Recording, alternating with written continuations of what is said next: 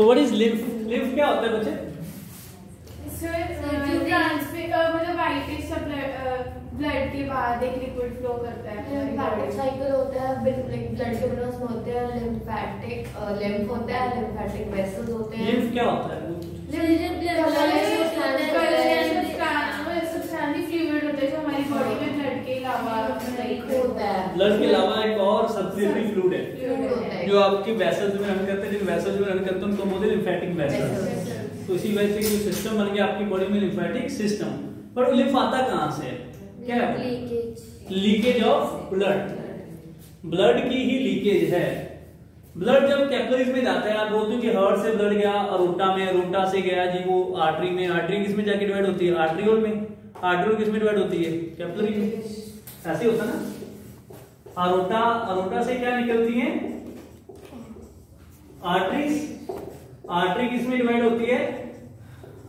Arteriole arteriole किसमें divide होती है? कैपरीज कैपरीज की वॉल हमने देखी है, बहुत ही थिन होती है नैरो होती है ना? सिंगल लेयर थिक है वो। कैपरी की वॉल क्या है? सिंगल लेयर थिक तो कैपरी की वॉल में ना स्क्यामस एपिथेलियल सेल्स होते हैं ऐसे। एंडोथेलियल सेल्स जिनको आप बोलते हो। ये मान लो कैपलरी है। और इसमें आपका ब्लड रन कर रहा है। इसकी वॉल कैपलरी की क्या है? सिंगल सेल थिक है। मतलब सिर्फ़ एक ही सेल है उसकी वॉल में। कैपलरी बहुत ही नैरो होती है और इनकी जो वॉल है बहुत ही वीक होती है। जब किसी को बहुत हाई फीवर हो जाता है ब्रेन हेमरेज के चांसेस क्यों होते हैं? जब फीवर 103 4 5 6 चला गया और कंटिन्यूसली परसिस्टेंट इतना फीवर हो गया तो ब्रेन डेड हो जाता है। ब्रेन हेमरेज होती है। क्यों? क्योंकि ब्रेन में जो कैपलरीज हैं, वो फट जाएँगी। क्योंकि वो थिन ही बहुत है, पतली बहुत है वो। इतने हाई टेम्परेचर को ज़्यादा टाइम के लिए वो टॉलरेट नहीं कर पाएँगी। तो ब्लड क्या होगा? आपके ब्रेन में बह जाएगा सारा। वहाँ पे वो क्लॉट चल जाएगा। ब्रेन हेमरेज हो जाएगी। तो यहाँ से जो ब्लड है ब्लड लीक होता रहता है। अब ब्लड में क्या क्या है? ब्लड में ज़्यादातर तो प्लाज्मा है, पानी है। ब्लड में ब्लड सेल्स भी हैं प्रोटीन्स भी हैं। जो प्रोटीन्स हैं या ब्लड सेल्स हैं वो यहाँ से बाहर नहीं जा सकते। तो बड़ी चीज़ें हैं। अब बचा क्या पीछे? वॉटरी फ्लूड या जिसमें वाटर सॉल्युबल सब्सटेंसेस है।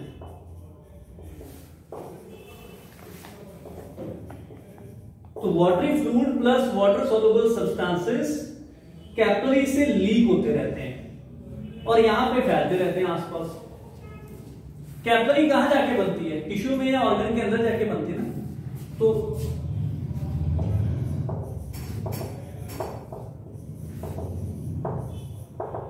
यहाँ पे आसपास आप समझो कि टिश्यू है। ये आपके टिश्यू है। इधर भी और इधर। अब टिश्यू ने ब्लड के साथ एक्सचेंज करना है मटीरियल तो कैसे होगा? दोनों के बीच में यहाँ पे फ्लूड प्रेजेंट होना चाहिए मीडियम होना चाहिए। अब वो मीडियम क्या है? लिम्फ यहाँ से जो लीक आउट हो रहा है यहाँ पे वो एक्ट करेगा एज ए मीडियम ये जो टिश्यू की स्पेस है ना यहाँ पे आसपास क्या आ गया? फ्लूड आ गया. ये फ्लूड को हम यहाँ पे जो नाम देते हैं इस जगह पे हम इसको क्या नाम देते हैं जी? इंटरस्टिशियल फ्लूड जो टिश्यू की स्पेस में है यहाँ पे। जब ये लिम्फेटिक वेसल में चला जाएगा। इसी इंटरस्टिशियल फ्लूड को हम लिम्फ बोलना शुरू कर देंगे, जब इसको किसने उठा लिया? लिम्फेटिक वेसल तो हम इसको लिम्फेटिक वेसल के अंदर क्या बोलेंगे? लिम्फ बट यहाँ पे क्या बोलेंगे इसको? टिश्यू के अराउंड जब ये इकट्ठा हो गया तो उसको हम क्या नाम देंगे जी? इंटरस्टिशियल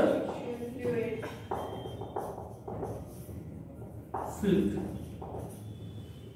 इसका फ़ंक्शन क्या हुआ? यहाँ से जो भी चीज़ इधर जानी है और यहाँ से जो भी चीज़ इधर आनी है, वो किसी मीडियम के थ्रू आएगी।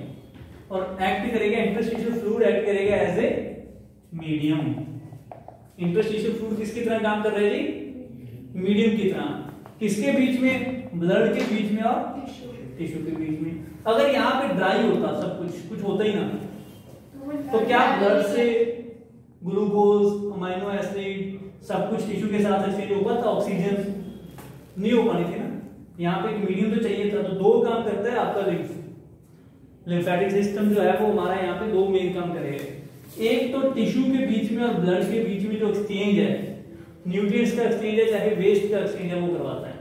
यहाँ पे अगर कोई फ्लूड होएगा मीडियम होएगा, तभी वो एक्सचेंज पॉसिबल है अदरवाइज़ ये एक्सचेंज पॉसिबल नहीं है। तो यहाँ पे हम इसको क्या नाम दे रहे हैं जी? इंटरस्टिशियल फ्लूड अब देखो, ये ब्लड तो आगे निकल जाएगा ना। ये कैपरी से वेन्यूल बन के वेन बन के वापिस जाएगा हार्ट में और हार्ट इसको वापिस कहाँ भेजेगा? रोटा में।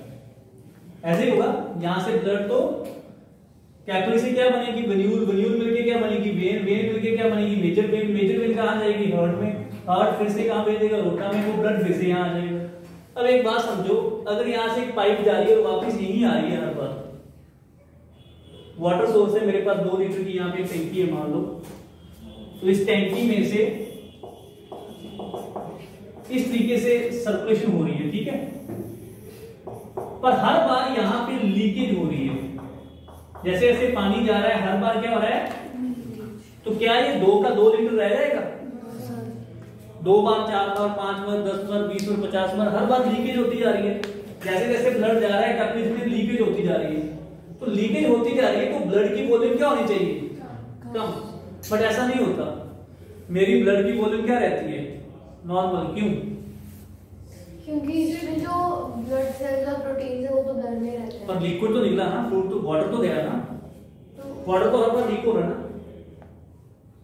वाटर भी सर इसके लिए लिम्फेटिक सिस्टम होता है वो दोबारा बिल्कुल लिम्फेटिक सिस्टम है जो यहाँ पे जो भी लीक हुआ है उसको उठा के वापस काम नहीं देगा?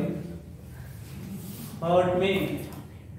जो लीक हो रहा है यहाँ पे बार बार उस इंटरस्टिशियल फ्लूइड को कौन उठाएगा?